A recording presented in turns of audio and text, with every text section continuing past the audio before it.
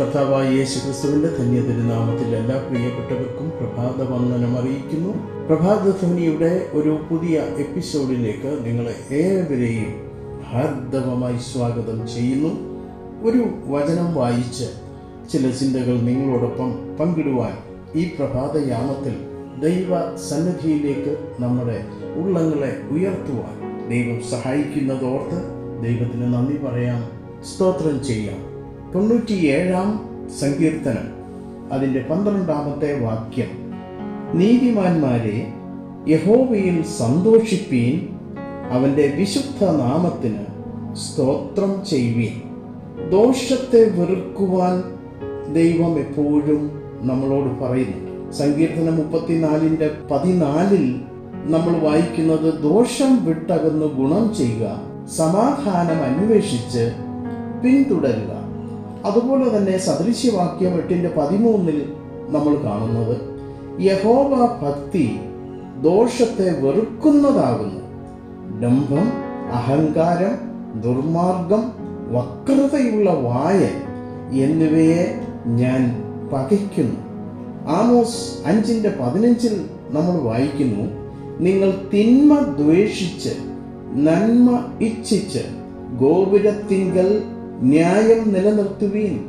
പക്ഷേ സൈന്യങ്ങളുടെ ദൈവമായ യഹോവ യോസേഫിൽ ശേഷിപ്പുള്ളവരോട് കൃപ കാണിക്കും.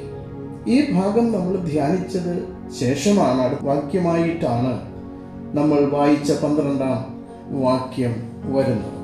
ഇവിടെ അവന്റെ നന്മകൾക്ക് സ്തോത്രം ചെയ്യുവീൻ എന്നോ അവന്റെ അനുഗ്രഹങ്ങൾക്ക് സ്തോത്രം ചെയ്യുവീൻ എന്നോ പറയാതെ അവന്റെ വിശുദ്ധ നാമത്തിന് സ്തോത്രം ചെയ്യുവീൻ എന്ന് പറഞ്ഞിരിക്കുന്നത് ദയവായി ശ്രദ്ധിക്കുക.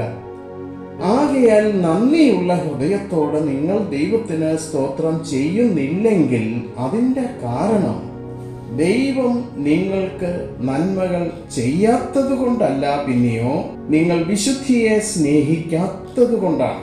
ഇപ്പോൾ നിങ്ങൾക്ക് ദൈവം ദൈവത്തിന്റെ വിശുദ്ധി അനുഭവിപ്പാൻ കഴിയുന്നെങ്കിൽ നിത്യതയിൽ ഉടനീളവും നിങ്ങൾക്ക് ദൈവത്തിന്റെ നന്മ അനുഭവിപ്പാൻ കഴിയും.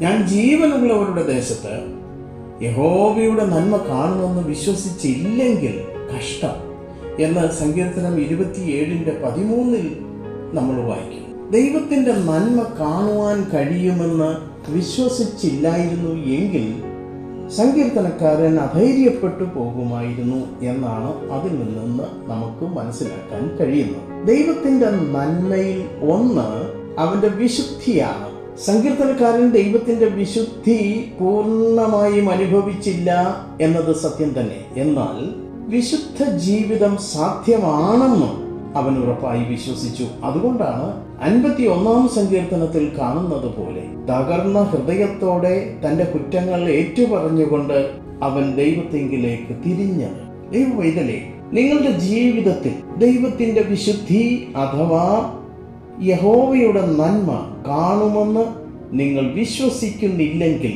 ഒരു നാൾ നിങ്ങൾ അധൈര്യപ്പെട്ടു പോകും. വിശുദ്ധിയെ സ്നേഹിക്കുന്നവർ ജീവനുള്ളവരുടെ ദേശത്ത് യഹോവയുടെ നന്മയുടെ നിറവ് അനുഭവിച്ച് സന്തോഷിക്കുന്നതിനാൽ അവർ ഒരിക്കലും അധൈര്യപ്പെട്ടു പോവുകയില്ല.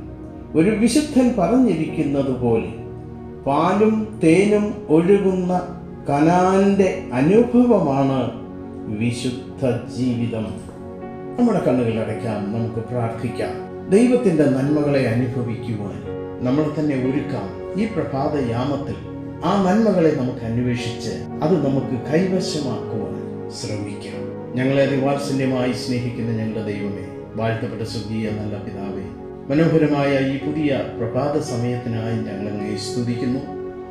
കഥാവിന്റെ കൃപയാൽ ഈ പുതിയ പ്രഭാതം കാണുവാൻ ഞങ്ങൾക്ക് അവിടുന്ന് തന്ന വിലയേറിയ ഭാഗ്യത്തെ ഓർത്ത് ഞങ്ങൾ അങ്ങേ സ്തുതിക്കുന്നു. ഞങ്ങളെ ആയുസിനെ അവിടുന്ന് ദീർഘമാക്കി തന്ന വലിയ ദയക്കായി നന്ദി പറയുന്നു. സ്തോത്രം ചെയ്യും കഥാവേ ഞങ്ങളെ കേൾപ്പിച്ച നല്ല ആലോചനകൾക്കായി ഞങ്ങൾ അങ്ങേ സ്തുതിക്കുന്നു.